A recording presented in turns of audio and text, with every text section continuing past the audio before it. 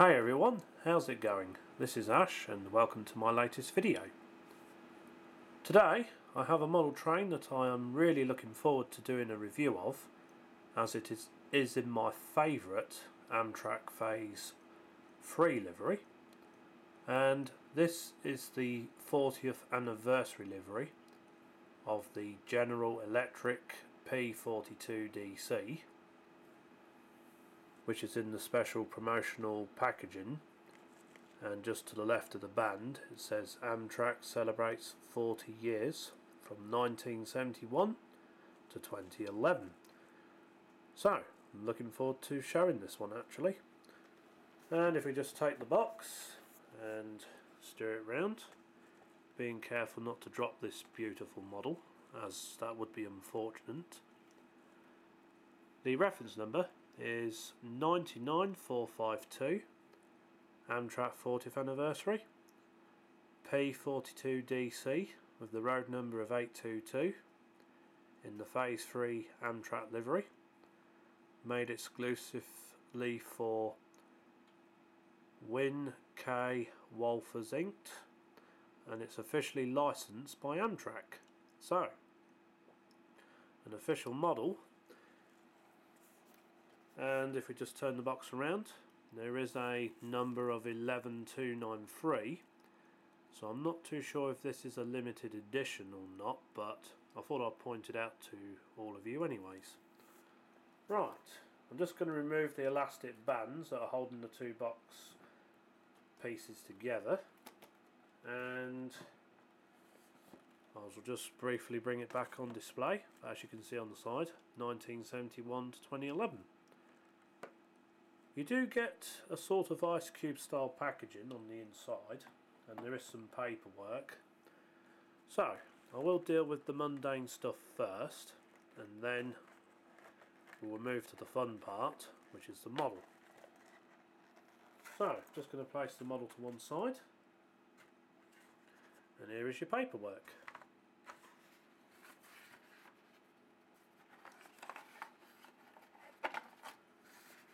As per protocol on all of my reviews, I always like to get rid of the paperwork first, but here is the instructions, including a pictogram of the model in exploded form, complete with all the parts and the reference numbers. And the model is a quick plug DCC type and it is part of the ready to roll Athearn range. Nothing printed on the back so it is blank but that's really all there is to cover. So let's just drop that in there. You do get a slip which tells you to sign up for Athearn News which is all printed there. Right, that's the paperwork taken care of. So, let's move on to the fun part of the review, the unboxing. Likewise, the ice cube packaging simply slides off and the tray divides into two partitions and here is the bottom partition with the locomotive in full view. You'll notice in the background that my Union Pacific train, which will be the random train in the video for when we move on to the test drive, I have obtained some Walthers Bethgon hoppers, which are coal wagons, and that comes in a set of six. So that's something new that will be present later in the video. So what I'm going to do I'm going to remove the locomotive from the tray and place it onto the track. Like with the majority of the Athearn models that I own, the model comes with a central can motor and is all-wheel drive. So, I'm just going to briefly stop the video whilst I set up the test train, which is also some new additions, which all will be revealed in a moment. So, Be back in a moment. Stay tuned. Welcome back. I thought I'd do some close-ups of this beautiful model from Athearn before we commence on with the test drive and as you can see this is one of the special heritage liveries of which it has 1971 to the left of the Amtrak name and 2011 to the right hand side and as I've previously mentioned the road number is 822 or 822. So let's have a look at some of the detail that this beautiful model presents.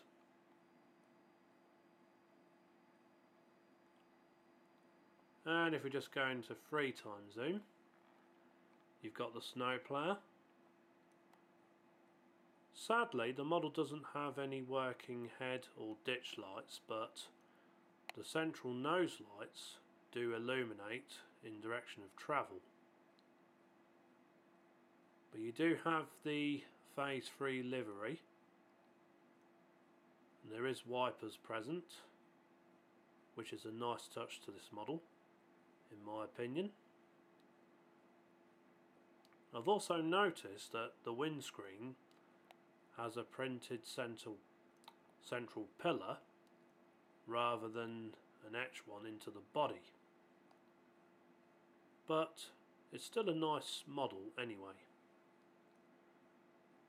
And if we just pan the camera to the right, you've got the handrails, a fair amount of decals as per the prototype. There is an aerial on the roof. The model does have painted grills, which again is a nice touch. And there is several panels and other details that are present on the roof. Complete with the K5 LA horn which is just on the roof there and by panning the camera to the right. Here is a view of the exhaust outlet. And whilst keeping in focus with the side of the model we are presented with more grills and an etched fan grill on the top. And also you'll see a glimpse of my newly acquired Walthers Superliners in the Amtrak Phase 4 livery. And meanwhile, sticking with this model, the footsteps are painted as well. Very good detail all round. And you've even got the fuel filler cap, which is on this side of the model, along with all the other details.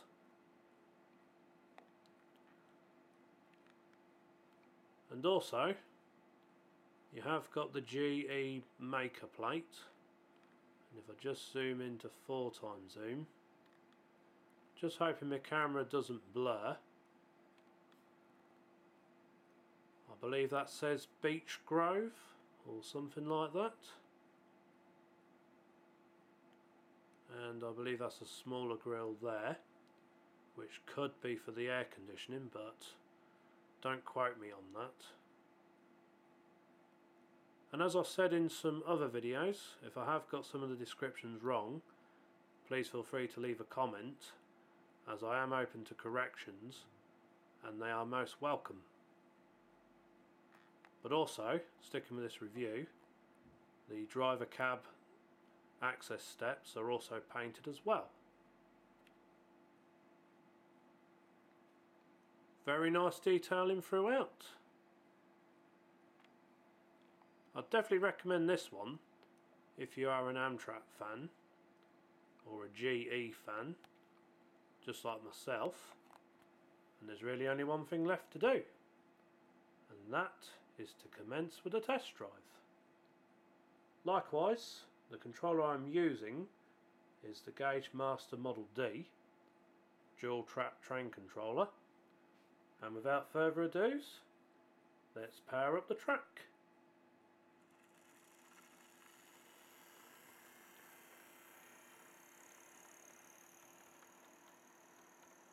Like with all brand new locomotives, it is recommended to run them at approximately half power at around 50% in each direction for 30 to 45 minutes as this will allow the driveline and the gearing to bed in. I shall reposition the camera just to give you more view of the line and I shall now power up the background Union Pacific train which consists of my Beast 5799 which is a GE AC 4400 CW with a EMD SD9043 MAC. So, let's get the second train going.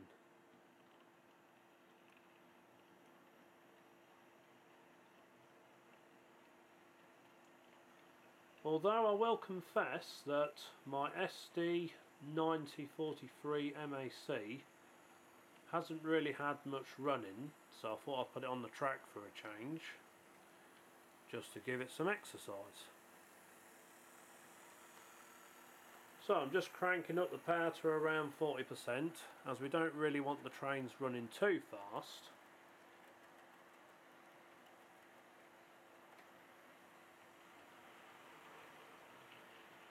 And I'm running the Amtrak Heritage Phase 3 liveried GEP42 DC locomotive on exactly 50% power.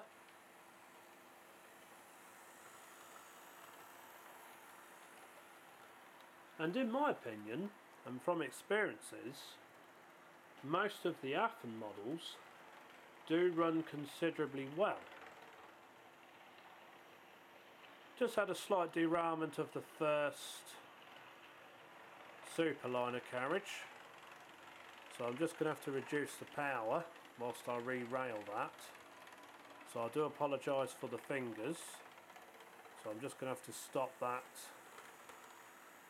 in front of the camera whilst I rescue the carriage. So I do apologise for the hands of God coming into the view now that we've got the train back on the track, let's give it another well. I shall try limiting the power to 30%.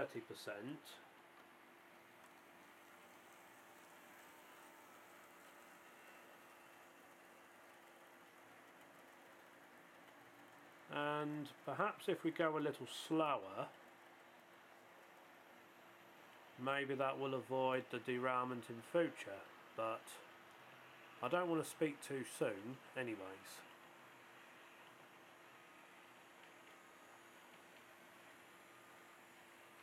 There we go. It is currently running at just over 40% power of which the model does seem comfortably running at that speed presently and I do plan to get some more superliners in the same livery as I would ideally like to have an 8 to 10 car set which will be a total of a 12 car train as I would like a couple of baggage cars to go behind the locomotive.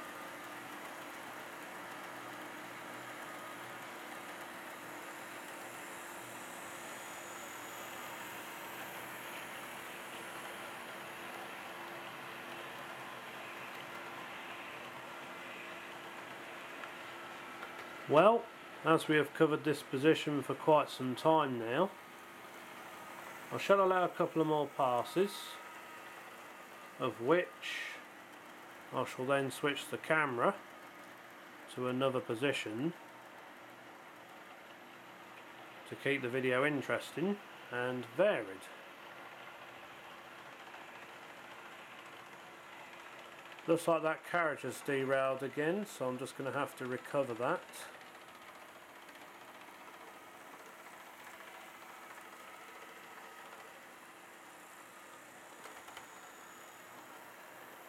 I'm just going to recover the train off camera. And I shall do one more pass or so. and then it will be time to switch the camera.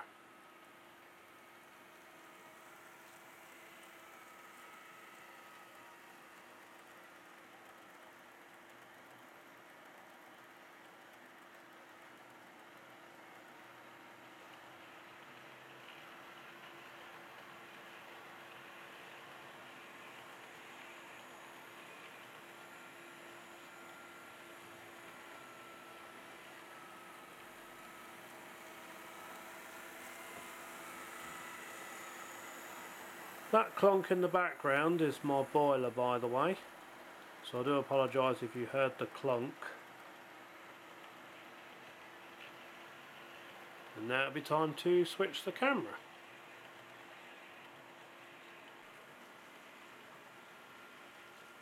And here is 57.99 and 82.42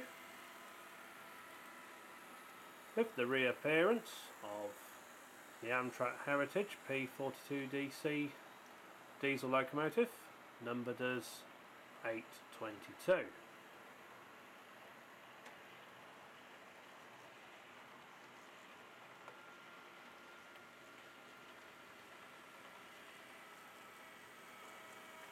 And it seems we've had a derailment yet again.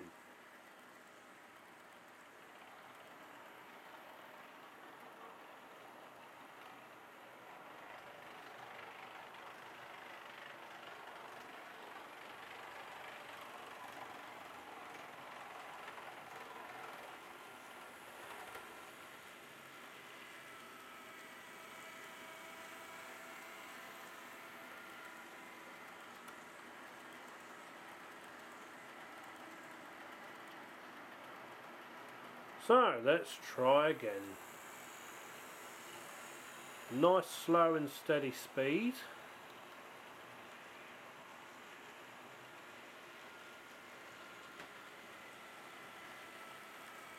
Although if I must say so, the front carriage behind the locomotive has just derailed yet again. It is quite temperamental.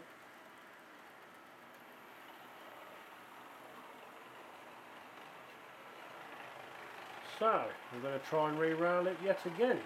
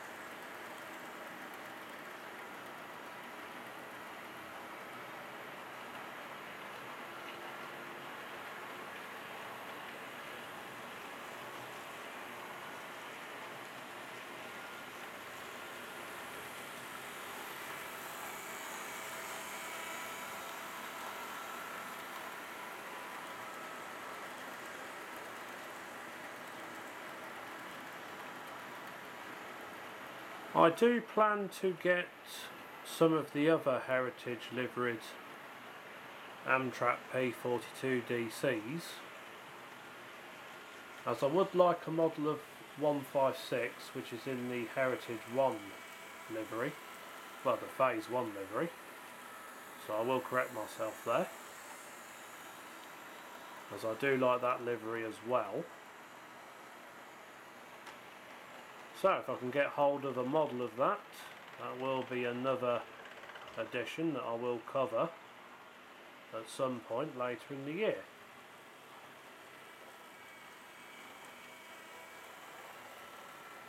I think the first Superliner carriage on my test train might be a little camera shy as it tends to like to derail on regular occasions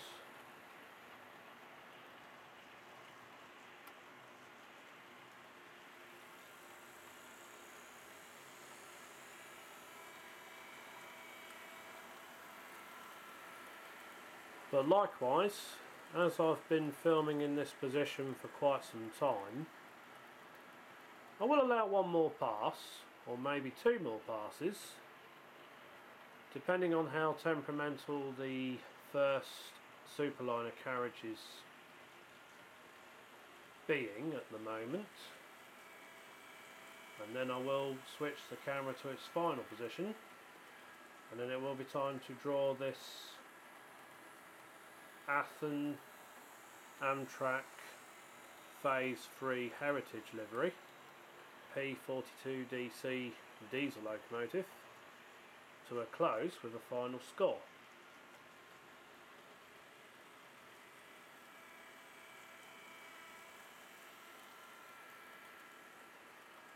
Just making some fine adjustments to the speed settings as I don't want the model to go too fast.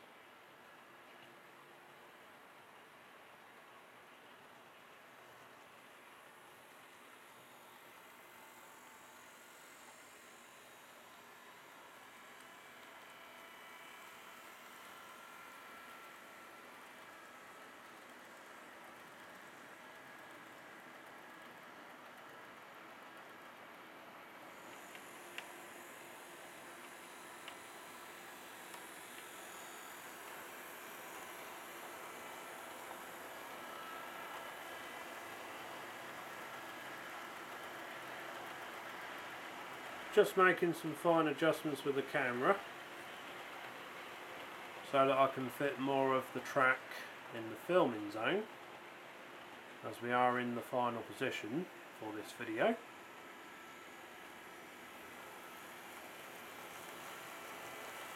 Also, it should show some of the near side as well as the off side of the diesel locomotive of which is the GE P42 DC, also known as the Genesis passenger locomotive for Amtrak.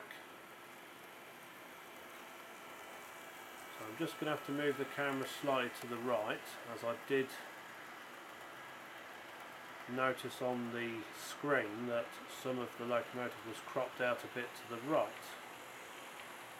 So hopefully we should be able to fit it all in in this view anyways.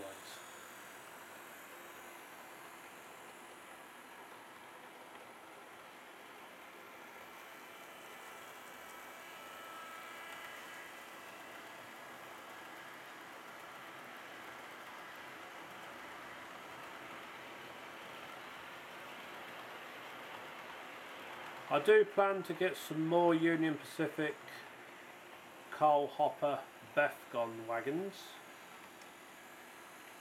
as I think 12 of them would look quite nice as part of my Union Pacific coal train.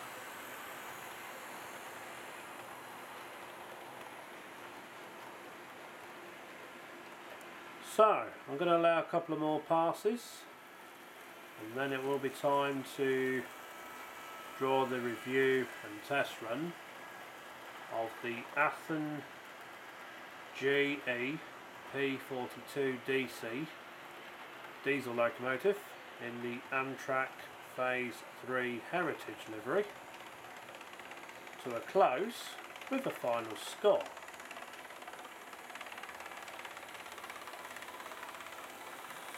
And I shall just have to re-rail this carriage yet again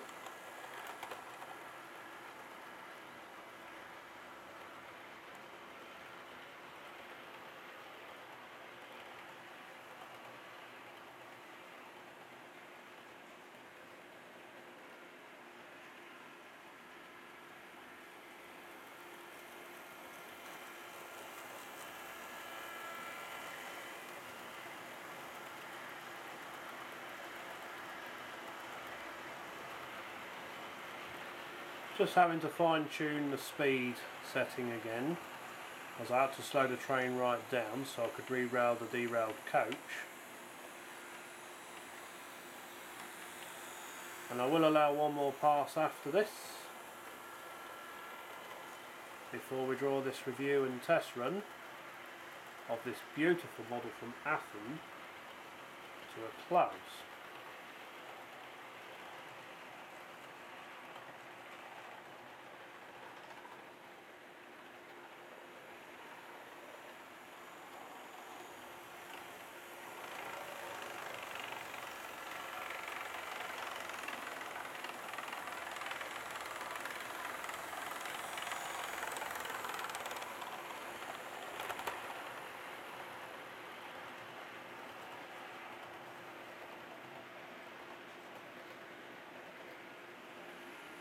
I shall just try one more time.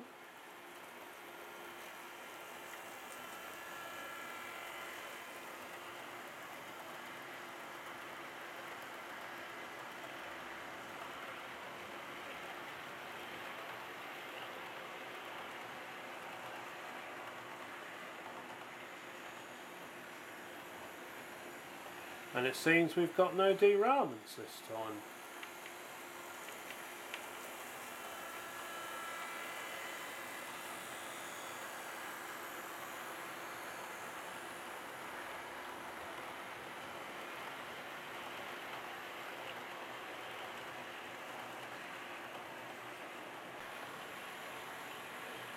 Well, that concludes my review, unboxing, close-ups and test run of this Athearn GE P42 DC diesel locomotive in the Amtrak Phase 3 Heritage livery which was part of the 40th anniversary from 1971 to 2011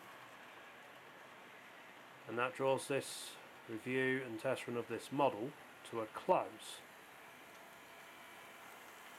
I'm going to give this one a 10 out of 10 although I would have liked to have seen working ditch lights but I have seen tutorials elsewhere of how you can add these to the model yourself and that concludes my review and test run of this model. If you have any comments or questions, please feel free to post them in the comment section below. And thank you for watching.